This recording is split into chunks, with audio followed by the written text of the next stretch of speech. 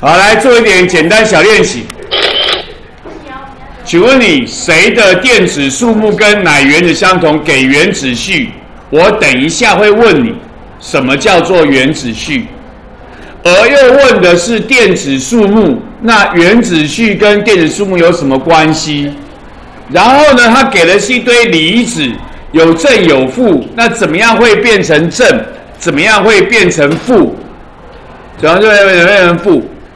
然后你就可以算一算，就知道谁会一样多。这也是简单小问题，也是有人会问的，考试考卷上会有。请问你这应该是谁呀？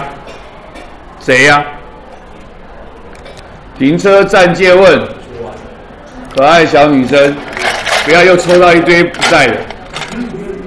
一号，一号，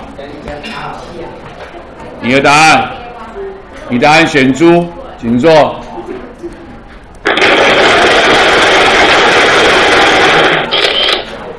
原子序是什么东东啊？质子数嘛。那正常情况下跟电子什么关系？一样多嘛，所以电中性嘛。所以呢，奶的原子序十就表示质子数是十，表示正常电子数有多少？十。所以呢，奶有十个电子，跟它所给的原子序，氯是十七，氯是十七啊。我们说要得到电子的会带负电，失去电子的带正电，然后得一个就是负一，失两个就是正二。所以氯是 Cl 负得一个，正常该十七得一个变十八个，铍呢是四，正二是失两个，所以就带两个电子。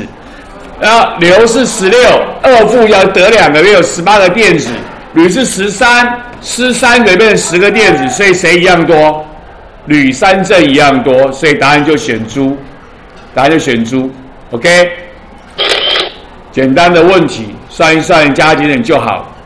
搞，刚要搞懂的是什么？要搞懂是这个，我刚才讲过的话，啥叫原子序？啥叫原子序啊？刚刚讲了，谁不叫原子序啊？原子序是什么？什么数？质子数。然后又讲了一般的情况下，一般的原子，它跟电子数有什么关系？什么关系？刚刚上我刚刚有讲解讲解过了，什么关系？正常情况，质子跟电子什么谁多？一样多嘛，所以相等。然后你就根据这个想法，再去加加减减，就知道谁是谁是跟奶一样多了。OK，下一题，给了质子数，给了中子数，他说我有个三正，那电子数几个？跟前面一样嘛。要晓得质子数跟电子数正常情况下什么关系，然后呢，去加加减减嘛，简单小问题啊。来，可爱的大帅哥，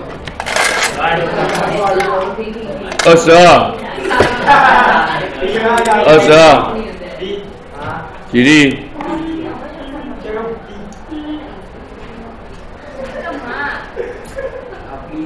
你选 B，有人告诉有人报答案 B，你就选 B 好了。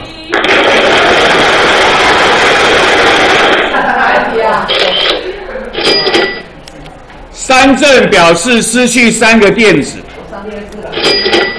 就是电子数比质子数少三个。我已经告诉你质子数多少，十三嘛，少三个减三呢，就十个，答案就 A。